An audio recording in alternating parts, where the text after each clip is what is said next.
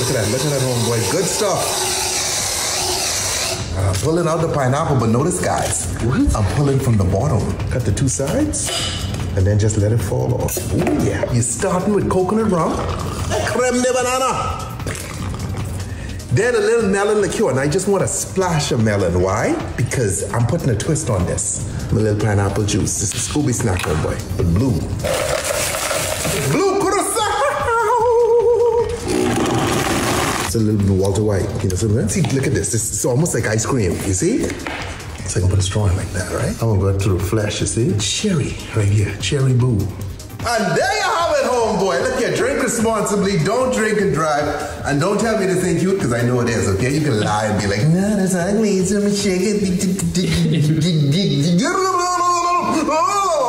okay, that's what I'm talking about.